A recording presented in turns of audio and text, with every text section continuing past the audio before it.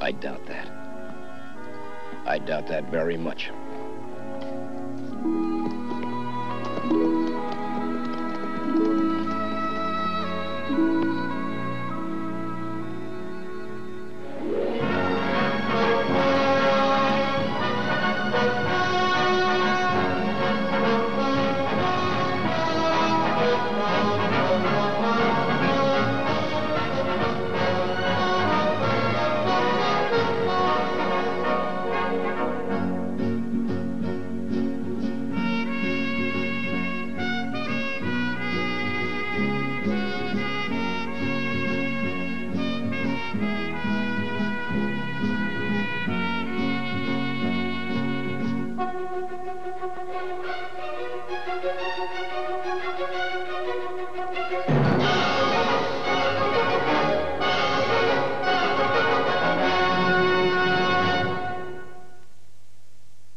Following the news headlines next, we continue our boxing night at the movies as Sam Neill stars in Robbery Under Arms.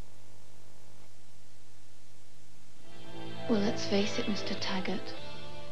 You have to kiss a lot of frogs before you meet a prince. New Year's Eve at 8.30 on ITV. Why don't Zanussi recommend a single biological liquid? Because they recommend double biological Ariel liquid.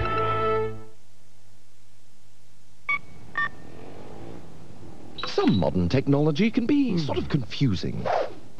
Right, this is a robbery. Everyone on the floor. But not the Sony TR-75 with stereo sound. Fill this bag. It's so small, Give it me. That's it. so light, Push it through. and so easy to operate. You'll find it hard to resist using it.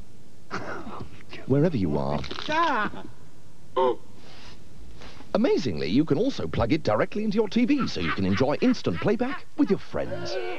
Sony, why compromise? Call our party line now on 0898 60 60 60 and speak to new friends all over the UK. Just dial 0898 60 60 60. Tomorrow on ITV, the movie premiere of My Left Foot.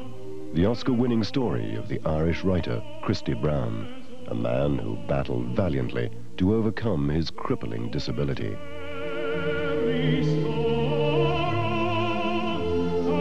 This is Christy Brown. My son. Genius. Daniel Day-Lewis in the movie premiere, My Left Foot, tomorrow at 9. Here's another of those Christmas crackers I've been given, a slight improvement on the others. What do ghosts have for dessert? Booberry pie and ice cream. Think about it. Robbery under arms in a couple of minutes after the latest news headlines from Phil Roman at ITN.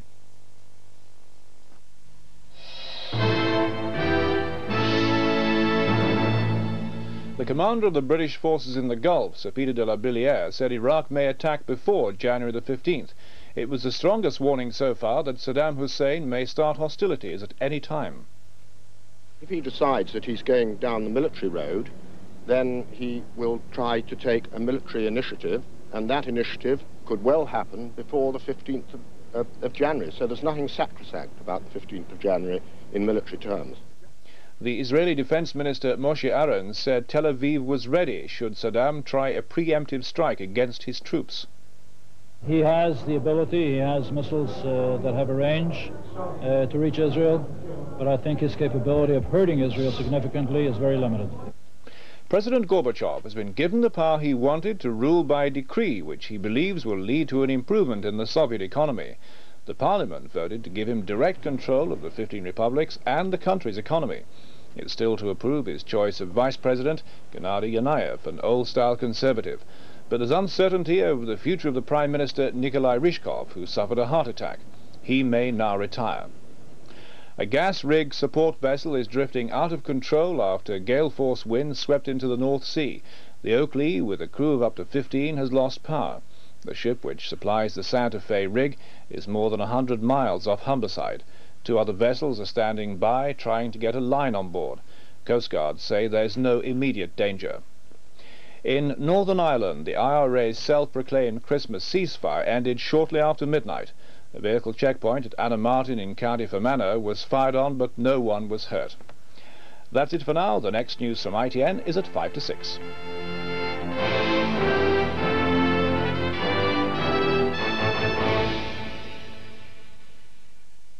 This New Year's Day on ITV, we dish up the return of Bromley and Blake. But just where's the boat? It's gone. And the name of the boat, senor? El Cid. And your name, senor? Bromley, I've already told you. Another statement. Oh, yeah. I'll give you another statement. Two words, short and sweet. I wonder if you know what they are. El Cid, this New Year's Day at 9. Still to come this boxing night time, a full-length cartoon version of Dickens' Pickwick Papers, the top 10 um, 60s acts, and right now a movie from Down Under, Sam Neill in Robbery Under Arms.